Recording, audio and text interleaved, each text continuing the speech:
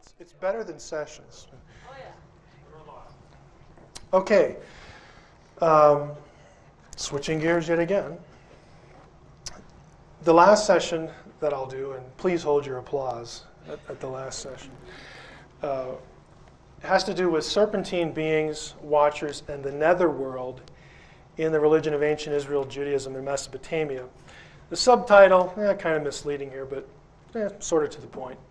What Zecharia Sitchin isn't telling you about the Anunnaki. Now, I, I'm going to have to translate this a little bit for you. What I'm going to do in this session is I want to go through uh, some passages in uh, the Hebrew Bible that deal with serpentine beings, also known as watchers, uh, mostly in, in, in, the literature of Middle Judaism, and also the netherworld, and then sort of, sort of create a, a description of you know, who these beings are, what they do, where they live, you know, that kind of thing. And then ask the question is there any evidence, is there any, any uh, suggestion that the Anunnaki of Mesopotamian texts match this description? I can preview it this much for you. There, there are a number of overlaps. They're, they're not, um, there are some gaps, let's put it that way, but there are a number of overlaps. So this is just kind of an exploratory uh, session just to uh, compel your thinking a little bit in this direction. Uh, because, frankly, when it comes to the Anunnaki, there are things that, that Sitchin does not go into that I think uh, robs you, the reader, and, and the thinker, the researcher, of the complete picture. So, some preliminary thoughts. Again, as the title suggests, there's more to this than you might have heard. I'm not going to worry about dealing with uh, some you know, errors that Sitchin makes in, in, in, some of his statements. That is the Sitchin overview session. So we're not going to worry too much about that. Rather, the third point here, the focus is discerning several noteworthy overlaps between the watchers of biblical theology and later Judaism and the Anunnaki. And again, I'm admitting that there are differences between the, the groups, but there are some pretty noteworthy similarities too. Now, toward drawing attention to these, uh, this is the order I'm going to follow, and hopefully it will be coherent for you. We want to talk, uh, actually review, since most of you have probably uh, heard my session on uh, Genesis 3 and Genesis 6, where we talked about the Nachash, the serpent, a little bit, but we'll, we'll go through that. Then we'll take a look at serpentine beings elsewhere in the Hebrew Bible. Again, note the sons of God and the watchers, the relationship between Genesis 3 and 6, and descriptions of the Anunnaki. Now, this session obviously has some overlap with other sessions, but again, to get it all in one session is, is our strategy here, is the goal.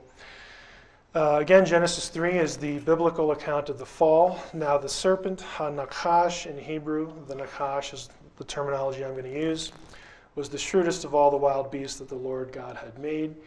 He says to the woman, Did you really did God really say you should not eat of any tree of the garden? The woman replied to the Nakash, We may eat of the fruit of the other trees of the garden. It's only the tree of life in the middle of the garden that God said, You shall not eat of it or touch it, lest you die. Which is kind of ironic because Elsewhere in the Old Testament, God wants uh, humanity to have eternal life, but here, uh, you know, uh, it, it's clear that He doesn't want them to, um, you know, do certain things and, and, so on and so forth. Um, you know, there's there's this debate about, you know, is, is God being mean here or whatever. We're not necessarily going to rabbit trail into that, but the both ideas are actually present in the Old Testament. But uh, restricting ourselves to this passage for the moment.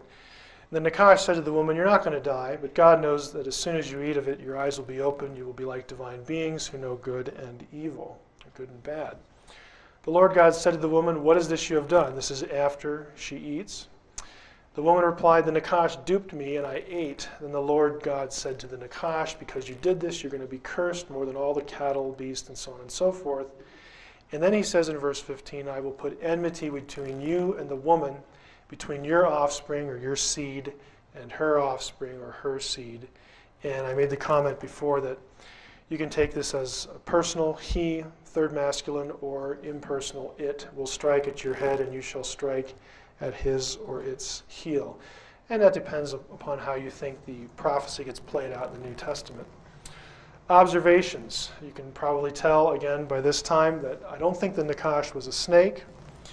Uh, there's no indication animals had the gift of speech in Eden. The fact that Eve was not surprised when the Nakash spoke to her must be explained exegetically, not by speculation. Uh, you know, I, have read all sorts of things here that, uh, you know, we have some sort of weird animal then that we don't have now, and it had legs and it stood upright and it talked, you know, or animals could talk back then. The text doesn't say any of that. The two parallel passages, as we shall see momentarily, to the fall in the Garden of Eden require, that's a strong word, but I'm going to use it, require that the Nakash be viewed as a divine being and not a snake.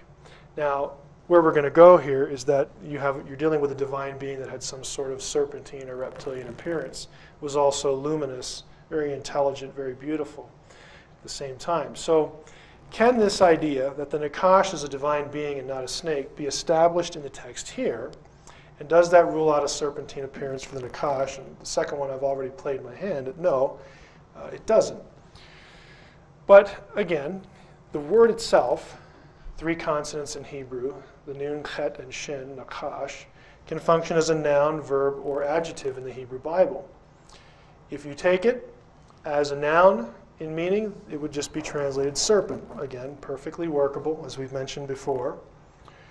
If you take it verbally, with its verbal meaning, the word would be translated deceiver or diviner, again, the practicing of divination, the act of uh, deception, perfectly workable. But I'm suggesting that we ought to take it because of two other passages we're going to go to today. Okay, I'm, I'm trying to triangulate them and, and see them consistently together. That's the reason I'm saying that if we take it as an adjective, the word would mean shining one, because nachash, as an adjective, when it's used uh, to describe you know, nouns, objects, it means to shine or to be brilliant or luminous or something like that. We get the, there's the Hebrew word nekoshet. Okay, you just add the T to the end to form the noun. Means polished brass, burnished brass. Again, the, the shiny effect. Interbiblical parallels I think, establish this. And I take it this way primarily because of parallel passages to the fall Ezekiel 28, Isaiah 14, where a brilliant, shining, angelic, or divine being is cast out of Eden. Neither of these passages have a snake in the story, and the context of each passage with Genesis 3 is the meeting place of the divine council. What I'm saying here is that Genesis 3, Isaiah 14, Ezekiel 28. These are the three passages in the Old Testament that deal with what happened in Eden. All three of them take place in the location where the divine council meets, and there are certain motifs that we're going to go into today that establish that fact. And also, all three of those passages need to, in my mind anyway, need to be need to cohere together, and two of them don't have a snake and I'm suggesting the one that appears to, we might want to just translate that word as shining one instead of serpent to, again, make them fit together, to have them cohere. So, first, considering the context of the three passages before getting into the specific parallels. Again, the divine council, if this is new to you, in as brief a definition as possible, is a concept known throughout the ancient Near East. For instance, it's mentioned in Enuma Elish and Atrahasis with the Anunnaki. Very plainly said the Anunnaki of the Great Divine Assembly said this and that. You know, four or five times in that story that the Divine Council, the Divine Assembly is mentioned. It is the high god or gods and their bureaucratic entourage, the heavenly host of which angels are merely one member category. In all ancient Mediterranean religions, including Israel, the council met at specific places, usually the abode of the high god. And although there are council parallels between the Hebrew Bible and cuneiform sources, the most explicit parallels are between the Hebrew Bible and its near, its closest geographical and linguistic neighbor, ancient Ugarit, which is ancient Syria. Uh, Ugaritic, by the way, if, if you like languages, if you, you want to study these someday, Ugaritic is the closest language linguistically to biblical Hebrew. Uh, there are a number of words in the Hebrew Bible. They're, they're called hapax legomena, that's a fancy way of saying words that only show up one time.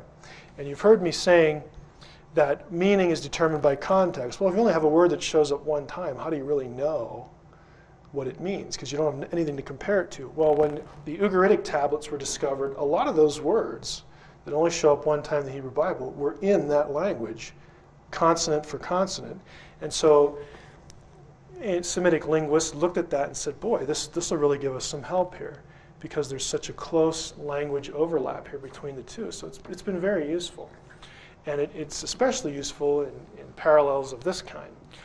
So the second thought here, the relationships are actually so close between the two literatures and their religions that one of the names of the God of Israel, El, that's from the Hebrew Bible, was also the name of the high god of Ugarit. They were both El. El's vizier, or his vice regent, who was called the ruler of the gods, was Baal. That's that's a title he gets. This proximity and terminology was one reason why Baal was the chief nemesis of Israel's prophets. Uh, Israel also had a, uh, a, second power in heaven, a second God, if you will, a second vizier uh, in the Old Testament. I don't want to rabbit trail too much, but this is this is my dissertation, and I like to talk about my dissertation, even though it was such a such a point of suffering in my life for so many years. Uh, but it actually has value. Um, no, what happened was in, in Israelite religion, in the Israelite version of the council, you can't have Yahweh and another God separate from Yahweh ruling the cosmos. So, what the Israelites did, which was really kind of neat, kind of clever, was they said the second person is Yahweh's essence manifested in a different form. So, you don't have Yahweh competing with another God, you have Yahweh and then his essence manifested differently. The most, the, you know, there are some real plain examples. Uh, the name, uh, th- that word, the phrase, the name, You'll, there are passages in the Old Testament where the name does this, the name does that, the name goes out to battle. Uh, it, it's, it's sort of euphemistic, but the, the technically correct term is that this is a hypostasis of Yahweh. It's Yahweh's essence manifested separate from Him. It is Him, but it isn't. This is the basis. It's the basis, it's the beginning point for binitarianism in Jewish thought. Now, later, the Spirit of God is going to be spoken in the same way. That's where we get Trinitarianism. It's actually Jewish. I mean, it's not something the Christians invented. Uh, it's well known in Middle Judaism. Uh, the, the Malach Adonai, the angel of the Lord, God says, This angel is different than all the other ones because my name is in him. Okay? My essence is in him. And that's why the angel of the Lord and Yahweh are interchangeable in a number of passages. Because he is Yahweh, but he kind of isn't. He is and he isn't. Uh, it's, it's that sort of difficult binitarian, Trinitarian problem that we look back at in theology and struggle with. But by the way, hypostasis was also a common um, institution in other religions of the ancient Near East, uh, Mesopotamia, Egypt. Uh, each god had, had one or a couple hypostases. Uh, but in Israel, it was the consistent pattern in the council. But anyway, let's take a look at the Council of El to get an idea of how close the council's ideas are between the two religions, because this is the point today. Because I'm going to try to establish that Ezekiel 28, Isaiah 14, and Genesis 3 are divine council settings. Now, at Ugarit, the location of the meeting place of the divine council went by these descriptions. At the source of the two rivers, in the midst of the double deep fountain. This, again, this is, these are the places where heaven and earth meet. Mount Safanu, that was Baal's mountain, the Mount of Assembled Council, and again, there were a variety of sacred mountains that are mentioned as where the council shows up and has a meeting. Now, you'll notice Safanu and this Puchru Moed. If you go to the biblical side, you have some, some conceptual parallels here, and here you have direct linguistic parallels. Zion and Eden are well watered you might think, well, there's four rivers in the description of the Garden of Eden. Uh, what you should do is you should go back and get a good exegetical commentary there because it, it, can be coherently argued that the names are interchanged there and you actually only have two, but I'm not going to rabbit trail there. Uh, Zion and Eden, again, where God lives, is Mount Zion, where the temple was, are described as well watered. And you, know, you get this watery language here in these passages. Uh, let's go down here. Mount, Mount Sinai, Mount Zion. Again, God lives on a mountain in Israelite religions, very familiar. And Eden is called the mountain of God and the garden of God in Ezekiel 28. You actually have Eden called a mountain.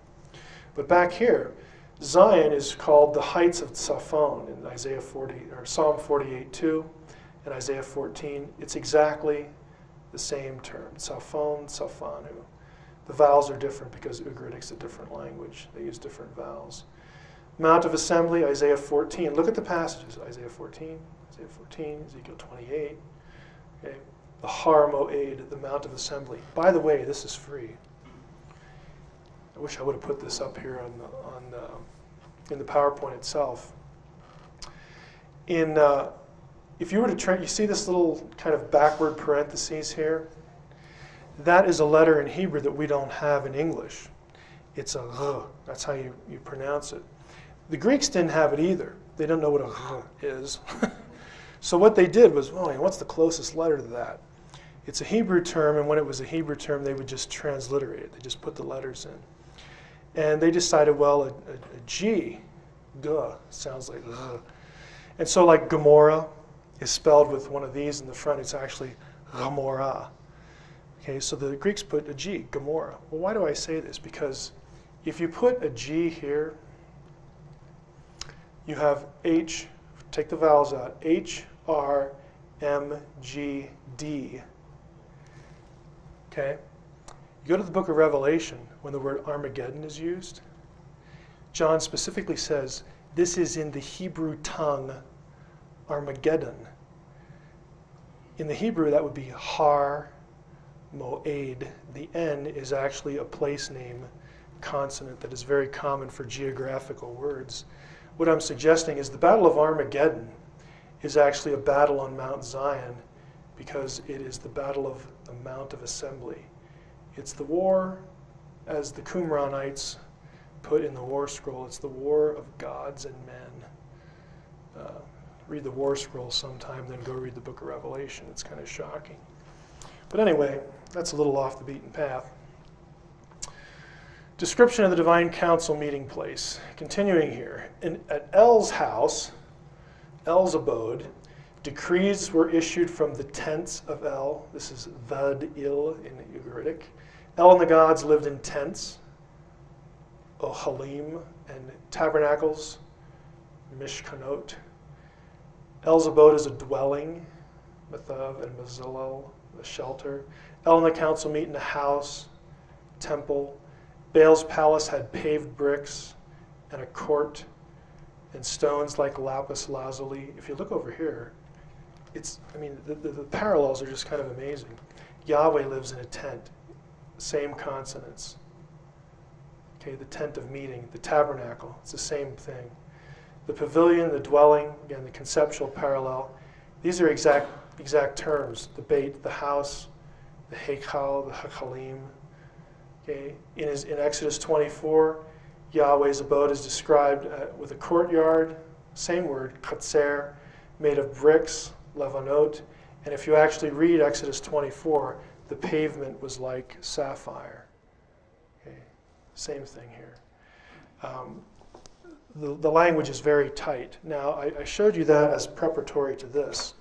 When you look at these three passages, what you've got going on are divine council scenes. So what, what happens is something happens in the council, some, some sort of uh, event or rebellion that, you know, associated with the, the fall of a divine being and also the corruption of humanity. So both passages in these two, we'll go back to Genesis 3 in a moment, are not about divine beings per se, but about evil tyrant kings. You'll read this in commentaries, and that's true. What's going on here is that the prophets are railing against, in one case, the king of Tyre, in another case, the king of Babylon, and they're just going off on them, telling them how bad they are. And, and they both get the idea I'll show you how bad you are. I'm going to compare you, foreign king, you wicked king, to a tale about a divine being who fell from paradise in rebellion against God. I'm going to illustrate your arrogance by comparing you to this being. And that's what they do in these passages. Let's go over here. Let's take a look at them. Ezekiel 28. The word of the Lord came to me, O mortal, O human one, O son of man, literally. Intone a dirge over the king of Tyre and say to him, Thus says the Lord God, You were the seal of perfection. You were full of wisdom and flawless in beauty. You were in Eden. Now we know the king of Tyre was not in Eden, so he's describing the king of Tyre with, in light of this story, for the sake of illustrating his arrogance. You were in Eden, the garden of God. Every precious stone was your adornment, and he lists them. I created you as a cherub with outstretched, shielding wings, and you resided on God's holy mountain. So he's in Eden, God's holy mountain. You walked among stones of fire. You were blameless in your ways from the day you were created until wrongdoing was found in you. By your far flung commerce, you were filled with lawlessness and you sinned. He starts going off on him again. So I have struck you down from the mountain of God. I have destroyed you, O shielding cherub, from among the stones of fire. You grew haughty because of your beauty. You debased your wisdom for the sake of your splendor. I have cast you to the ground. I've made you an object for kings to stare at. Isaiah 14, you're going to see a lot of similarities. Here, the rant is against the king of Babylon. He's such a tyrant and such a jerk. And so Isaiah says, Sheol below was astir to greet your coming. When you think you're something special, well, that's where you're going to end up. Rousing for you the Rephaim of all earth's chieftains, rise, raising from their thrones. The Rephaim are on thrones in Sheol. Remember that. Raising from your thrones all the kings, Hebrew, the M-L-K-M. It's not Malakim, angels. It's different spelling there. There's no Aleph here. All speak up and say to you, So you have been stricken as we were. You've become like one of us. Your pomp is brought down to Sheol. And the strains of your lutes, worms are to be your bed, and maggots your blanket. By the way, that's a real good description of the Mesopotamian underworld. How are you fallen from heaven, O shining one, son of the dawn, shining one, son of the dawn? How are you cast down to earth, O vanquisher of nations? Once you thought in your heart, I will mount to the heavens. I will mount to the heavens. Higher than the stars of God will I set my throne. I will sit in the Mount of Assembly on the summit of Zaphon. He, your English Bibles will say north. North is Zaphon. Why? Because that's where the mountain of El was in the north, the geographic north. I will mount the back of a cloud. Yahweh's title, Baal's title, the cloud rider. I will match the Most High. Instead, you are brought down to Sheol, to the bottom of the pit. Now, parallels. Let's take a look at some of this in a, in a parallel structure. Genesis 3, I'm suggesting Nakash means shining one. Shining ones in the Garden of Eden, where God walked. Okay? Here we have descriptions of the being. He's described with luminous brilliant stones, brightness. Again, these stones are the same things that describe the brightness of God's throne, so it's pretty bright. Uh, we have here again this description as the anointed cherub. Now, that assumes that the word anointed is the correct translation of the Hebrew mashach. Now, that's possible. It's a common term. We get Messiah from it. Mashiach, the anointed one. However, if you remember back to English class, and please don't shudder, remember what a homonym is. Semitic languages have homonyms too, words that are spelled the same but mean something different. There is also a Hebrew mashach, which means, guess what? To shine. So this could very well be translated, and I'm suggesting it should be. I created you as a shining cherub. Shining cherub, shining one, and here it's point blank. Isaiah 14, O shining one. The Hebrew is Halel ben Shakar. This is where, by the way, uh, we get our word Lucifer from. Because when the, the, the text was translated into Latin, the word for shining one, Halel, in Latin is Lucifer. Okay, shining one just means something luminous. Nakash here, again, can still carry its other two meanings, serpentine and deceiver. And I think serpentine is important because here, this is really kind of interesting. You had this odd phrase back in Ezekiel 28 you were the seal of perfection. And commentators usually say, well, that just means, you know, you, it's kind of a uh, sort of a description, an embellishment to show how you know wonderful and beautiful this king thought he was. And you know, I'm not I'm not saying that's not possible, but what's really interesting is if you transliterate the Hebrew for seal of perfection, chotem tachnit, if you put it into transliterated letters, this is an interesting term because at times in Semitic languages, the M here is silent, like we have silent E. And if that's the case here, what you have here is that this phrase, exact same phrase, means skillful serpent, because this word, chet vav tav, with silent M, means serpent in Canaanite. It's just one of the generic words for serpent. So you could have, I created you as a shining cherub and a skillful serpent, shining serpentine being. Some more. Genesis 3. He was in Eden. He knew that when Adam and Eve ate, they would become like, that should be one, sorry about that, one of the gods. again, Eden was the place of the council. You go over to Ezekiel 28, it's point blank Eden is the mountain of God and a garden as well. He walks among the stones of fire, but was thrown out of heaven, the place of the stars. Now that is interesting. He gets thrown out of heaven, and that helps inform us what stones of fire are. Stones of fire are considered by experts in ancient Israelite and Near Eastern religion to be either planets or stars, which, of course, for the sake of this conference, is really interesting. Really cool. And divine beings were considered celestial objects, or, or perhaps, it goes either way. Uh, stars to the ancient person were either divine beings themselves or they were inhabited by divine beings. You know, it, it, varies, but you, you'll see both. The stars of God, in Isaiah 14, 13, and at Ugarit, and in Job 38, the stars of God, anybody remember Job 38 from a night or two ago? Where were you, Job, when I set the foundations of the earth? When the stars of, of heaven, the stars of God, the sons of God shouted for joy, the morning stars. Stars of God are divine beings. They're members of the council. They're Elohim. They're the B'nai Elohim in Job 38. Again, we have the shining one here. He wanted to set his throne on the mountain of God. Mountain, mountain, Eden is a mountain here. On the mountain of assembly, the place where the council meets, above the stars of God. What he's saying is, I want to be supreme, and I'm going to be supreme in council. I'm going to kick El off the throne, and I am going to subsume that position. I will be like the Most High. I will be above all other gods, above the stars of El. I will supervise the Mount of Assembly. I, I, I, I, I, I, I, and so on and so forth.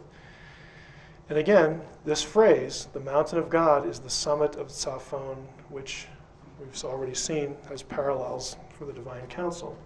Nakash, again, serpentine seal of perfection, whatnot up here. Going again here, if you look at, again, the rest, the, the passage in a fuller sense, you might say, well, what about the curses? You know, I get this question a lot, frankly, where, you know, how can you take the, these, the serpent in Genesis 3 as a divine being? I mean, after all, he gets punished, you know, he, he gets, he, he's made to crawl in his belly, and that sure looks like you have an animal that now, you know, his legs are taken away and he becomes a snake, and so on and so forth. Okay, here's my suggestion to you interpret this curse by virtue of these two. Now, watch, we're going to start with these two. I have struck you down from the mountain of God, destroyed you. From the, among the stones of fire, I've, I've kicked you out, kicked you out of the council, kicked you out of heaven. I have cast you to the ground. It's a critical word. It's arts in Ugaritic. Notice the consonants. There's that parentheses, the R, and then the S with a dot we would point it, we would say arts in Ugaritic, eretz in Hebrew. It's a generic word in the Hebrew Bible for earth or ground. In Canaanite dialects, though, it means the netherworld. The aretz is Sheol. It's, it's, a, it's a synonym for Sheol. It's the place of the dead.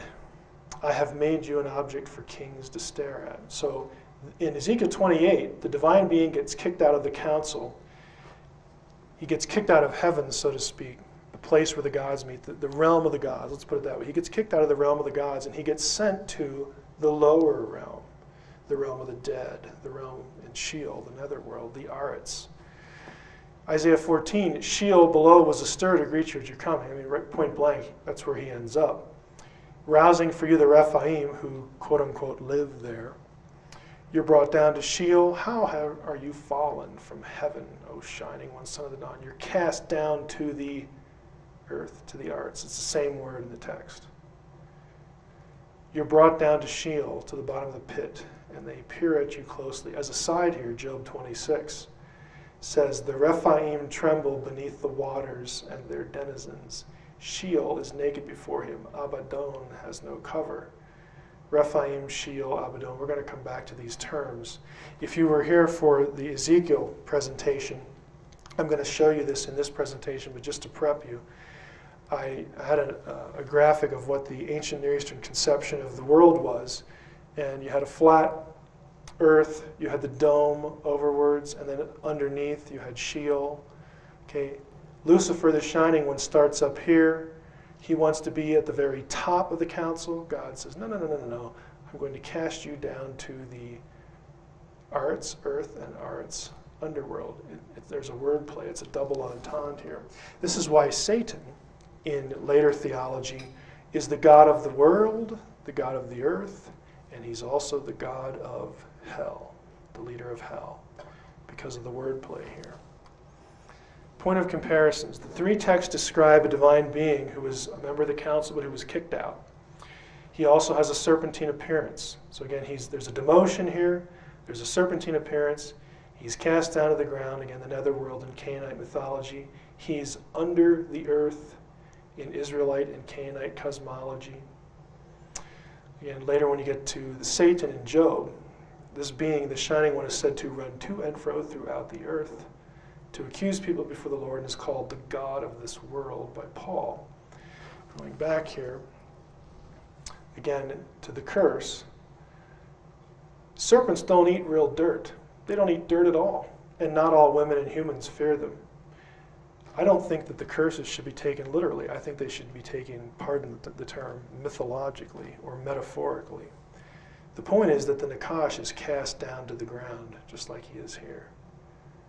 And what that means is, just as it means here and here, that the Nakash, the Shining One, is sent down to the human realm to rule and affect and interact with humans. He's kicked out of the divine realm, and now he rules hell, he rules Sheol.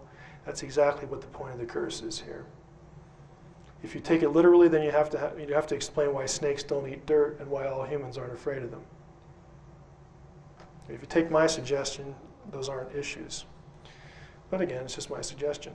By the time Isaiah and Ezekiel wrote, Sheol was associated with dead giants, the Rephaim, whose spirits were alive in the netherworld. Again, if you missed the session on Genesis 6, it's a word for giant, for, for you know, one of the giant clans.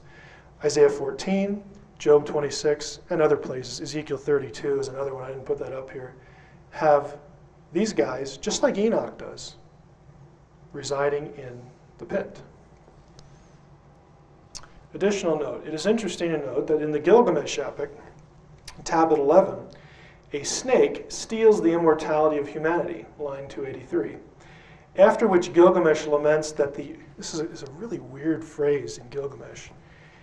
Gilgamesh laments that the earth lion in Akkadian Nashu Shah had stolen his chance at eternal life. What in the world's going on here? Why? The story has a snake. It's Bitsru here. And when Gilgamesh is sitting down feeling sorry for himself, he refers to this thing as an, an earth lion. Well, what the heck is that? Earth lion is the same way that Greek expresses the word for chameleon. Kamai leon. Kamai is on the ground, on the earth. Leon, lion, earth lion. That's what chameleon literally means. Noted cuneiform scholar Åke Sjöberg has suggested, and it's just a suggestion, but I think it's worth thinking about. It may be possible to connect Akkadian Neshu with the Eblaite Naish, and that word with the Hebrew Nakash. Now, why do I bring this up? Because Neshu, Neshu, Neshu, Okay, Nakash. And what that leads to is the significance of this possible connection is that one would have a serpentine being in an Eden like story who was a changeling. Chameleons change their appearance, don't they? This might resonate with 1 Enoch 19.1, where the watchers were said to be able to change form, and perhaps 2 Corinthians 11.14, this is the verse where it talks about Satan being able to tran- be transformed into an angel of light. Uh, he can appear uh, as something brilliant and wonderful when he actually is not. The identity, we talked about this, was our first point identity, nature, and fate of the serpent. Let's talk about serpentine beings elsewhere besides the one we, we think of, the Nakash in the garden. Some tentative comments and speculations, and again, I'm, I'm deliberately saying this because, I, quite frankly, I'm still thinking about some of this. I don't know quite what to make of it. Trust me, folks, this is, you know, pardon the expression, virgin territory. It's not like I can go look up a commentary or go ask some scholar to think in these terms. It's not going to happen. And so, you know, I, I'm still cogitating on, on a good bit of this. The reference to the shining being in the Garden of Ezekiel as a shining anointed cherub is interesting, but rarely received, it's really received much thought since scholars assume that cherubim and seraphim are different. Many scholars assume that seraphim means burning ones, from Hebrew saraph. That cherubim are sphinx like creatures based on ancient Near Eastern divine throne iconography. Now, if you were here with the Ezekiel session, you know that there's a lot of cherubim that look like sphinx type creatures. You know, that, that's, that's true. You know, the question is is that all they are? Is that only what they are? in the Semitic mind. Now, I think all the assumptions are open to question, and some observations might come, uh, come to fruition here, or at least contribute. The relationship of cherubim and seraphim is uncertain. If one removes the four faced cherubim from the category, and you know my view now that I don't think the point is literal cherubim, I think the point is the four faces of the zodiac. So if you, if you accept that and accept E-X-C-E-P-T, the two-faced cherubim of Ezekiel, which again, if Flynn is correct, that's also precessional. If you exclude the precessional stuff, then cherubim normally described elsewhere are simply winged creatures. On occasion, the description of a cherub includes features that are not in the iconography of the ancient world, such as the hands of a man, but which are shared with seraphim. Here I'm suggesting Maybe there's a relationship between cherubim and seraphim. Again, it's possible, I'm still thinking about it. The function of both could be called guardianship of the council or the throne of God. Seraphim, of course, are the ones that guard the throne in Isaiah 6. Genesis 3:24 after Adam uh, is driven out of the garden, God places a flaming uh, a seraph, a seraphim, uh, there at the at the entrance to the garden, and then of course Ezekiel 28. Um, taking Mashak again as shining, uh, you might have one there too. So seraphim are quite likely serpentine. Uh, the, ser- the term seraph is interchanged with nakash, same word, serpent in the garden, the shining one, in the account of Moses and the serpents that bite the Israelites in Numbers 21. But what I'm going, just going through is what we, what we do know here. In, in this story, in Numbers 21, the children of Israel are going through the desert and, they, and to, to punish them uh, again, for, for grumbling and murmuring after they've been delivered at, the, at the Red Sea and a, and a, few other kind of amazing deliverances, God says, you know, the people are grumbling again, despite the fact that I've done these amazing things for them. And he sends serpents to that, that bite the Israelites. The serpents in that account are called both, they go by both terms. They're called Nakash and Saraf. These are synonyms. Okay, we know what this is. A it can mean a serpentine thing. But most scholars say that this just means burning one. Well, guess what? While there is a root saraf to me that means to burn in Hebrew, it is equally true that there is saraf right here in Numbers 21. That's just a serpent. So what I'm suggesting here is that a seraphim might be a serpentine being. That might be what they look like. Okay, again, still thinking about this. Uh, in Egypt, seraph, uh, Egypt actually combines the features Uh, a seraph in Egypt is a, is a shining or flaming serpent. So they, they sort of dovetail both possibilities in Egyptian literature and Egyptian iconography. So we've talked a little bit about both of these identity, nature, fate, and possible serpentine beings elsewhere. Sons of God and the Watchers, again, by this time you should be familiar with Genesis 6. I'm not going to read this whole thing to you, but sons of God with the daughters of men, bearing the Nephilim. Again, sons of God are often called watchers in later Jewish literature.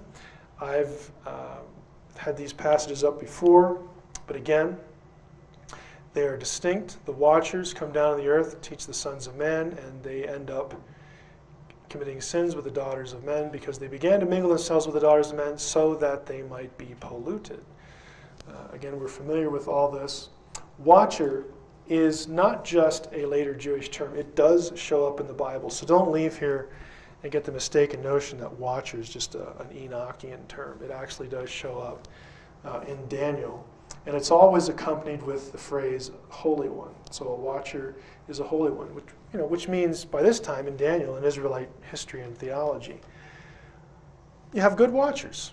Okay? It's, it's not, the, the point is not that they're all evil. The, the ones in Genesis 6 are viewed as evil.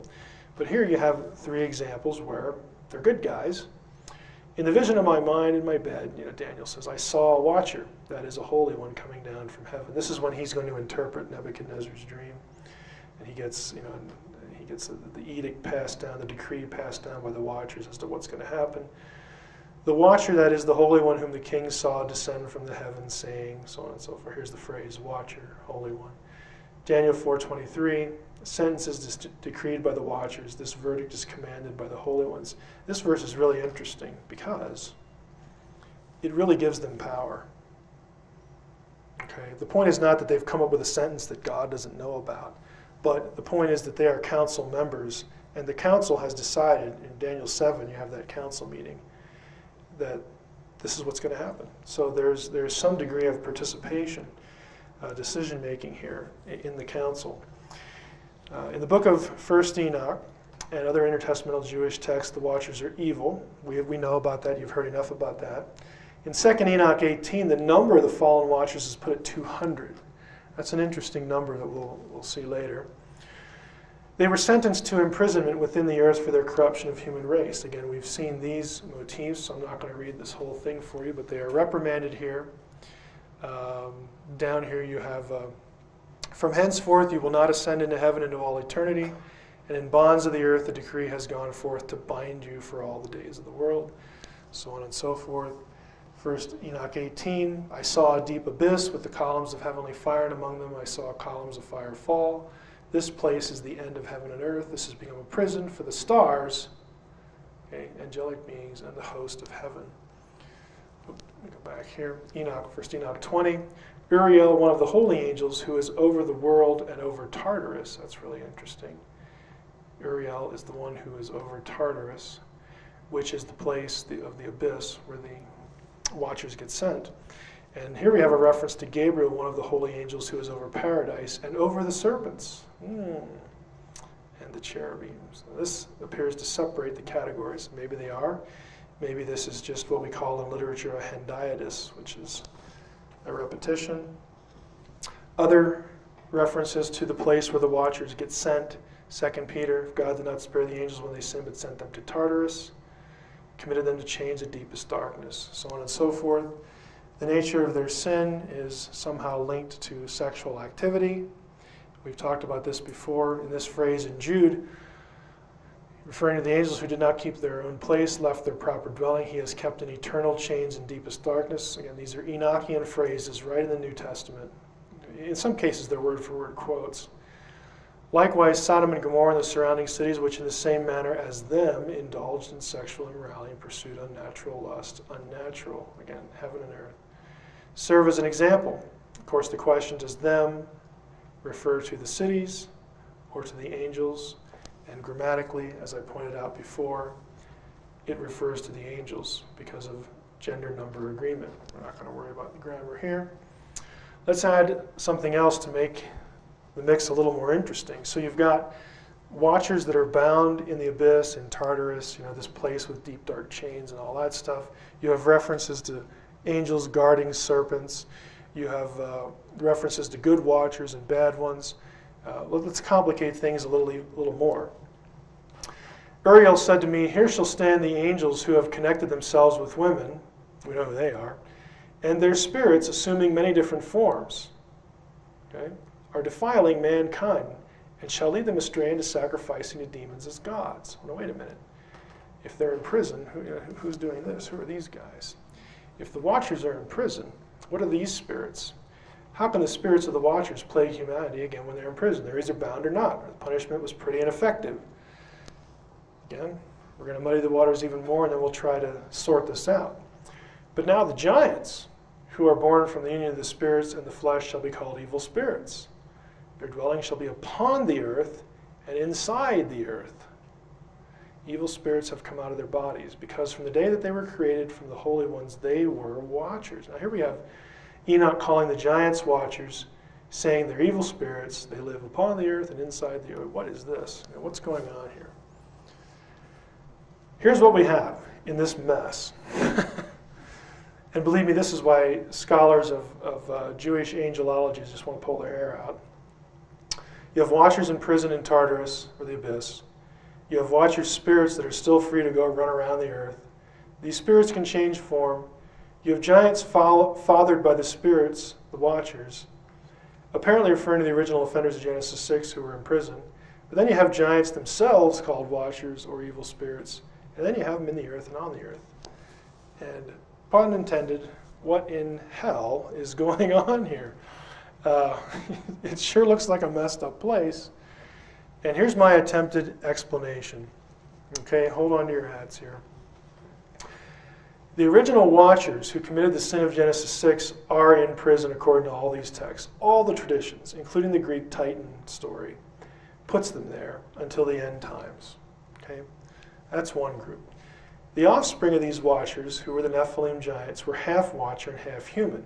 Thus, it is true that they are watcher from birth. Okay, at least you know, half of them, they have that line. As such, when a giant was killed by flood, cannibalism, Enoch refers to this a couple times, or an archangel, only the human side died. The spirit, the watcher half, lived on as a watcher. Spirit or watcher who came out of their bodies. These subsequent generation watchers were also called Shedim, the demons. And again, I've said before, this is the Jewish explanation for where demons come from. These watcher demons may be in the abyss, but they may also be upon the earth. They're not imprisoned, only the original ones are. And I have here a cross reference to Mastema, who is the leader of the watchers in one Enochian text. Um, this word can be linked to the word Satan, and so this might be Satan, but I'm not going to worry about that now. They are thus in the earth and upon the earth. They can assume many forms, and they want to be worshipped as gods. They solicit and receive sacrifice as gods. This is the picture of Jewish demonology, I guess would be more fair to say. Here's the kicker Again, one fragmentary text from Qumran, 4Q Amram, manuscript B, tells us that watchers had a serpentine appearance. Now here's the text. This is a this is fragmentary. I'm sorry this isn't very clear. I couldn't find a way. Well, actually, I couldn't, didn't have access to a good photocopier when I needed to do this, but could have enlarged it. This line here, this is the, the scroll from Qumran. It's Aramaic you see the, the edge here where it was rolled up. This line here, the text is describing watchers. And let me just give you the, the, the context.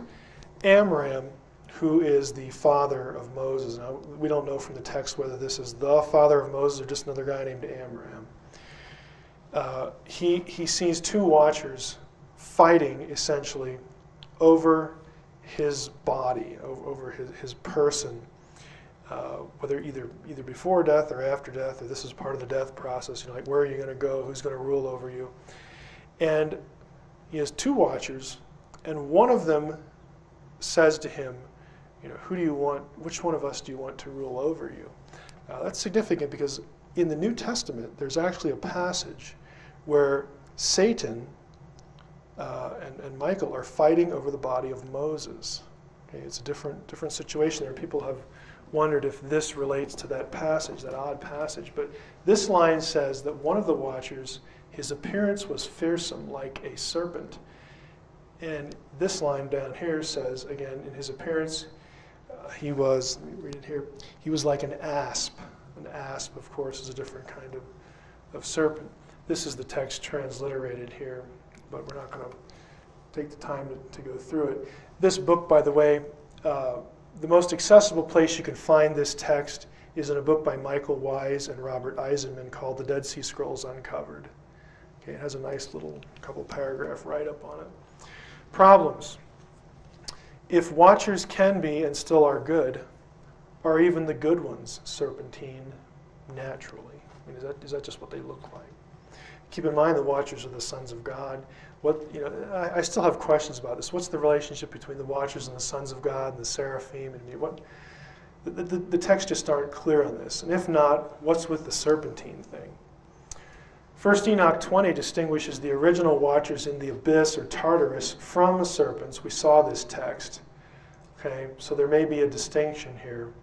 However, it's obvious that the fallen Nakash is serpentine and that he rules in the earth, the erets where the Watcher demons operate. So, moving on, again, I realize we're covering this rapidly. Discuss a little bit between the relationship of Genesis 3 and Genesis 6. Again, the issue is the seed of the Nakash. Are the seed of the Nakash literally the Watchers in Genesis 6? We talked about this in my Genesis 6 presentation. Since we have a fall in Genesis 3 initiated by a divine being, another one fall, another fall from grace initiated by divine beings in Genesis 6. Are they related? The problem is the biblical text never explicitly says that, but Jewish writers did connect them um, after the. Uh, at, at, a certain point in, in, in, their, in their, time, you know, Jewish writers disagree, but let's just go through this as quickly as we can. Up until the first century AD, the events were unrelated by Jewish writers. In fact, most Jewish writers saw Genesis 6, not Genesis 3, as the introduction of evil into the human race. They didn't have a concept of a fall. By the way, uh, if you're familiar with the Old Testament, I think it, I think there, it's noteworthy that if this is really a fall into moral guilt, if that's really the point of the passage, I'd like to know why Genesis 3 is never brought up again in the Hebrew Bible. I mean, nobody ever refers to it, but this idea, you know, really took picked up speed uh, in Jewish circles. We're dealing with a loss of immortality. Again, that's that's my own position rather than moral guilt. it's a, it's really apart from what we're doing here to talk about the what constitutes the need of atonement, the need of redemption, and we can talk about that later. But again, there's a lack of an explicit connection. Um, you do have you know some some relationships here. Let's just describe a few. In 1 Enoch 69, uh, that text describes one of the angels this way. The third angel was named Gadriel. He it is who stowed, or showed the children of men all the blows of death and led astray Eve. Now, wait a minute. Wait a minute. Led astray Eve. This Enoch names this one who led astray Eve Gadriel. What, what, what's with that? Showed them weapons of death, so on and so forth. Elsewhere in the book of Enoch, the angel who taught humankind warfare was Azazel, and he has nothing to do with Eve. So the, the Jewish texts are going to disagree. They're just as confused uh, about the connection as, as you know, we still are today. There, there's just no certainty here. The discrepancy is an indication of the nature of the book of Enoch. Enoch itself is a composite uh, text, so is there a direct relationship or not? We don't necessarily uh, know that. However, we could say this. You could argue this kind of this way. Since this text is the first to link the being who deceived Eve with the Genesis 6 episode, that text in Enoch, it's the first time you see them definitely linked. You have these two named Gadriel Azazel, the well known leader of the Watchers to the Jewish readers, is put back into the garden as though he were the Nakash. So, what they're doing here is they're they're looking at the Watcher story, and, and they're obviously in Jewish thinking are evil, and they think, well, you know, surely, you know, these guys are so bad. You, you could say maybe they're serpentine in the Jewish mind. mind of the people of the, uh, at Qumran, people in, in, the intertestamental period, they thought, well, surely one of these guys, the, maybe the leader of the Watchers, was probably the, the being who caused Eve to fall. They're, they're, they're frankly just guessing here. But this is what they're believing, this is what they're saying. And in creating that link, the later writers also link the sexual sin of Genesis 6 with what happened between Eve and the serpent. I point this out because of people like Gardner. There's a reason why later rabbis came up with this idea that Eve fell. She's in a perfect environment, she's sinless. She fell, though, or she committed some atrocity. And, and, and they, they say the only way to explain this is, is to have this third person, this third being, the serpent, the Nakash, whatever. They began to argue and speculate, and soon their speculation became doctrine in some Jewish circles that Eve and the serpent had sex, cohabited, and then that was the fall. The text never says that. You never actually find a text that does, but again, they're, they're trying to understand, they're trying to link the two chapters. And Gardner and other Gnostic, uh, Gnosticism has this, this view in its classic form. I've already been through this thing about Gardner, so I'm going to skip this here. He tries to prove that the Bible actually teaches this by quoting Genesis 4:1 which he quotes as saying, I have gotten a man from the Lord. Hava is Eve. Of course, the problem with that is he deletes two thirds of the verse for his readers. He only quotes from here over. This part says, And she said, I have conceived a man, I have, I have obtained a man, et, which Gardner wants to translate with the Lord, like, he, like you know, she's having sex with the Lord. So not only does he delete the first two thirds of the verse, but he also assumes that Yahweh here, the Lord, is the serpent, is Satan. Uh, again, he's, he's thinking in purely Gnostic terms here. Et, which the arrow is pointing to, is a particle. And it can mean with, but it, most of the time it's silent. It marks the direct object in a sentence and is not even translated. But you had to tell by context. And unfortunate for you, if you're reading Gardner, he deletes the context for you. Here's the part of the verse he deletes. Now, Adam knew Eve, his wife, and she conceived and bore Cain. And she said, I have acquired a man at from the Lord, not with the Lord, like you're having sex with the Lord, but she's saying, God's given me a son. It's very clear. The text is very clear. Adam is knowing Eve, very common sexual euphemism in the Hebrew Bible. So Gardner just deliberately misquotes the verse. But anyway, you have two options as far as the relationship of the seed of the Nakash. Remember, I will put enmity between your seed and the seed of the woman in Genesis 3, and the sons of God. You can either have direct lineal children, direct genetic link, or a representative. And you know from my other session that I don't think the biblical text takes the first view. There's no text that says the serpent, the Nakash, actually fathered anything or anyone or any being. Okay, so the biblical view you're really driven to is that the seed of the Nakash is any being, divine or human, any evil doer who acts in agreement with the Nakash's purposes. And this is the way the Bible sort of uses the phrase. In Isaiah 14 29, the stock of the snake, literally the root of the Nakash, is, again, speaking of Assyria. Uh, and the next conqueror, Babylon, these are just evildoers who hate the people of God. And so they, they get associated with the serpent, with the Nakash. Phrases like, your father the devil, you brood of vipers. This is the way the, the biblical text uses the idea. And so the seed of the Nakash, I think, are just evildoers who oppose God's plan. Now, in Genesis 6, you have the attempted corruption of the messianic line, the seed of the Nakash trying to do that. Remember the text in Jubilees that we quoted that specifically says, again, this isn't a Christian idea, this is a Jewish idea. The text in Jubilees that I had in Jubilees 5 specifically said that the reason that the watchers came down and cohabited with human women was to pollute them. Okay, just point blank. And that was the way that the Jews understood it. So again, recalling our discussion of the Nakash and the judgment of the rebellious divine being in Ezekiel 28 and Isaiah 14, one text in Enoch that may link that being to Genesis 6 as watchers thematically, uh, you know, is that, that, that Jubilee text. Now, here's kind of a summary of where we're at. Both the Nakash and the original Watchers inhabit the abyss. You know, inhabit's kind of a generous word because they're imprisoned there. Both had humanity targeted for destruction. Both the Nakash and the second generation Watchers are described as serpentine. Both the Nakash and the second genera- generation Watchers are free to roam the earth. If Watcher refers to throne guardians, both are spoken of in those terms too. Both have transformative powers in, in terms of being able to change their appearance. And again, an even tighter summary the sons of, the God, sons of God and watchers are the sons of the high God and have high standing in the council, but they become evil prior to the flood. There were 200 of them, according to Enoch, at least one text.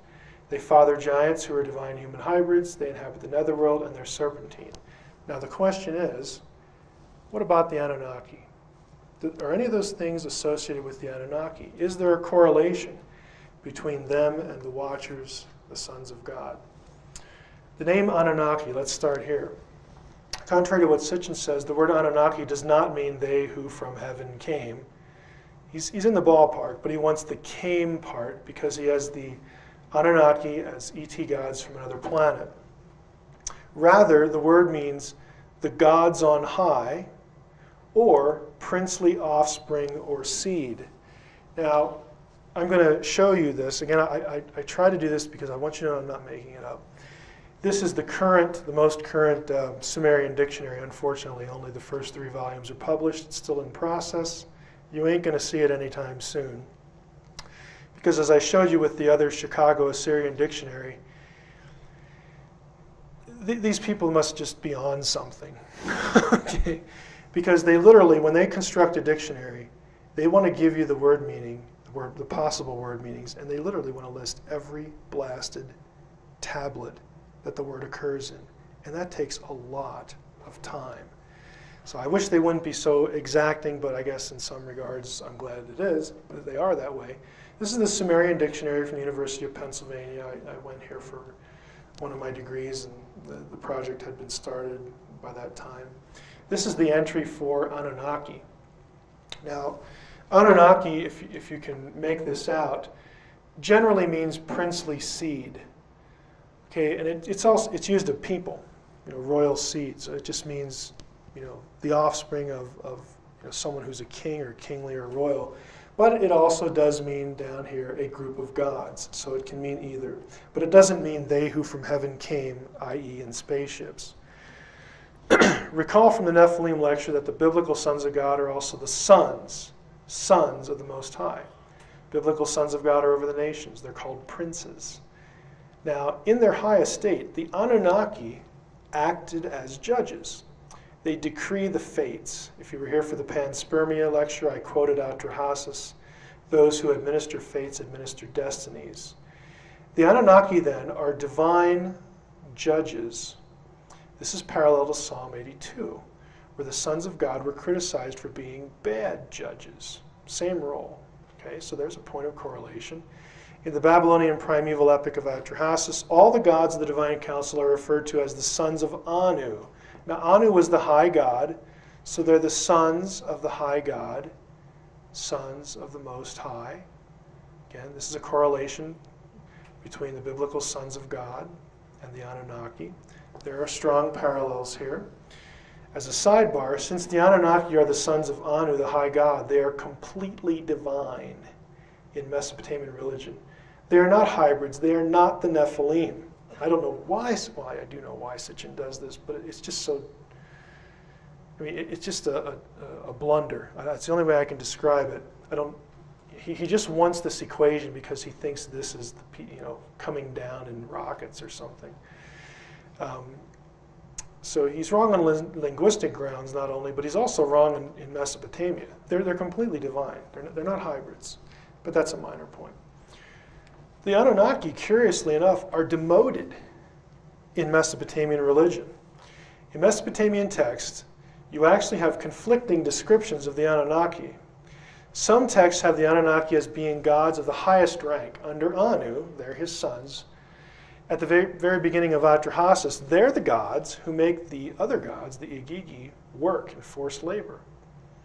This is all the more significant when you understand, again, Mesopotamian cosmography. And the main English source here is Horowitz, Mesopotamian Cosmic Geography. Uh, it's, it's, a great resource. Uh, he covers every term in, in, in, every text in cuneiform that, is, that has to do with any part of the heavens or anything like that. It's, it's just a wonderful source. There are three levels, um, you know, different abodes on high, earth, and the abyss. But in the Mesopotamian version, there were also three levels in heaven. Anu reigned in the highest level. The next tier down was the seat of Marduk, who was surrounded by the celestial gods. Part of this comes from Bottéro, religion in ancient Mesopotamia. Uh, the Igigi. So the Anunnaki would have ranked higher than the Igigi with their father Anu. The lowest heaven was for the stars and the constellations. Now, at some point in Mesopotamian religion, and we are not told why, the Anunnaki were demoted. Eventually, they were consigned to the netherworld, believe it or not. Jean Bottéro, an expert, should be un, an expert in Mesopotamian religion, puts it this way The Anunnaki were the most powerful, the most eminent, in some way the upper class and chiefs of others. At the very beginning of Atrahasis, these high level gods make others work. Those who worked were the Igigi. Later, we aren't told why, the situation was reversed and the latter represented the celestial gods, whereas the Anunnaki became the, became the gods who resided in the netherworld. They did something, for some reason, they were sent to hell. you know, to be pretty blunt about it. They became known in later texts as the infernal gods, since they were sent to the lowest region of the netherworld where human ghosts stayed after death. Uh, the descent of Ishtar is where you'll find this phrasing in the netherworld, the Anunnaki judged. So they, they still do the judging. They still do judging here. They judged the etemmu, or that's literally death spirit, to confirm each of the dead's entrance into the Mesopotamian netherworld and hell. Are you getting the, the picture here? Okay, we have beings who, in, in the Hebrew Bible, inhabit the netherworld where the Rephaim are, the spirits of the dead, the bad place, and so on and so forth. Again, you have connections with the Watchers who are consigned there. Even the second successive generations of Watchers, according to Enoch, they're allowed to roam around on earth as demons, but they are also the inhabitants of the netherworld, of Sheol, of Tartarus, of hell. The number of the Anunnaki is interesting. Again, this is not an exact correlation, but it's just kind of it's just kind of interesting, so I throw it out here. The number of Anunnaki is inconsistent in Mesopotamian texts. One tradition has 600 in the netherworld, 300 in heaven. That's, there's the reference. So, like the Watchers, there are fallen and unfallen Anunnaki. Another tradition, believe it or not, has 200, which corresponds to the number of fallen Watchers in at least one Enoch tradition. But since it's inconsistent, you shouldn't press the correspondence. Is there a sexual element with what the Anunnaki are or do? It's pretty obvious that the central concern in Genesis 6 1 4 is the sexual cohabitation. Many scholars have argued there's no such thing in the Mesopotamian version, despite all the other parallels to the biblical account between the accounts. But one cuneiform scholar has recently put forth a challenge to this idea. This is 2002, so this is a new article uh, from the Scandinavian Journal of the Old Testament. Kvanvig uh, argues, and she's also she also has produced a major work on uh, the roots of, of apocalyptic and and uh, specifically apocalyptic literature in Enoch to Mesopotamia. So she's she's certainly in the ballpark here with the kind of things we're thinking about. In the Atrahasis account of human creation, there's emphasis placed on the antediluvian, that means before the flood. The antediluvian humans brought about by a divine conception. Now, the divine conception here, you, you actually have the phrase, the sons of Enki. These beings, the sons of Enki, are considered a fusion of divine flesh and blood with clay. In Enki's speech just prior to the creation of these people or beings, he utters a line that includes his, Enki's, interpretation of what's going to happen. He says, Both God and man, let them be mixed together in clay. The very first line of Atrahasis has this theme as well when the gods were human. It's a controversial phrase. Uh, some scholars, not, not everybody, I'm going to be honest with you, says that the point of this phrase is this that God and man are mixed. That they're, they're sort of interchanged. Although the Anunnaki are not the ones running the mixer uh, in Atrahasis, they're not the ones who actually, you know, again, I don't know why Sitchin says that they're the ones who do the genetic engineering. It's very clear that, that Nintu is doing this. The Anunnaki are just standing there watching. But Atrahasis has them approving the process and watching the outcome. The points. Atrahasis does in fact have hybridized human beings. Note the Nephilim are called men in Genesis, but they are half men, half divine. Created by a god, so Atrahasis has hybridized human beings created by a god, in this case Nintu, with the approval of the sons of God, the sons of Anu. This action, since it results in a huge population increase, Genesis 6.1 also points to that, precipitates the flood. While the correlation is not complete, it is analogous at least. And finally, what about the serpentine features? Unfortunately, there's no direct evidence that the Anunnaki were serpentine in appearance. Some Sitchin supporters use the Ubaid figurines as proof of this, and here's one of them. Uh, the, these were found at, the, uh, at El Ubaid. Uh, you can look this up in a book on Mesopotamian art, which is where I got this picture here has some reptilian features to it, um, serpentine perhaps. Unfortunately, and you know, you, you, by now you know that would, I would think it would be really neat if the Anunnaki were described as serpentine, but unfortunately, none of these figurines have any inscriptions on them at all. We have no idea who, who the, the artist was depicting. He doesn't tell us. Uh, and there's no text that, that, that makes a serpentine connection with the Anunnaki. So it's just purely speculation or a guess to say, well, you know, this is what the Anunnaki look like. Well, you know, that's nice, prove it. You know, there's just nothing that says that. But then again, the biblical sons of God and watchers prior to judgment aren't described that way either. We might take 4Q Amram as saying this is what the, the second generation watchers look like, but, but that's only speculation as well. It's only after the original offenders are imprisoned, you know, the one text is 4Q Amram that we actually read that description. But it does bring up an interesting possibility. The first few lines of Atrahasis have the number of the Anunnaki as seven. Again, another discrepancy with another numbers. There's all sorts of numbers here. Some deity lists of gods in the netherworld list a subgroup of gods that are associated with serpents or serpent demons. Now, this is all Mesopotamian stuff. There are seven such gods that are serpentine. So you see the number seven, seven, maybe the seven gods, the seven Anunnaki, who are a subgroup of gods in the netherworld, maybe they're serpentine. Who knows? It's speculation. The article for this is Wiggermann, Trans-Tigridian Snake Gods in Sumerian Gods and Their Representations. Uh, again, it's just a speculative connection. So that is what I wanted to say about the Anunnaki. Let me conclude uh, with this. I think I, I think what we can say with security is that it is very possible, it's very possible that, again, according to Jewish traditions, that the sons of God, the watchers, who cohabit with human women in Genesis 6 and in a whole bunch of other Jewish texts, it's possible that they could have had a serpentine appearance. We're not, we're, there's only one text that even suggests that. It's 4Q Amram and it doesn't describe the Genesis 6 incident. It just says that the watcher who spoke to me looked this way. Uh, it's a weak correlation, but it nevertheless is there, so it's a possibility.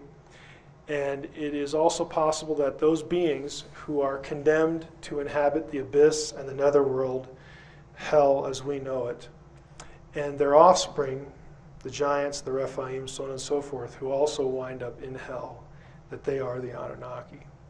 I can't stand here and say that I, I think that correlation is tight. All I can say is that there's some analogous evidence for it, and we'll have to leave it at that.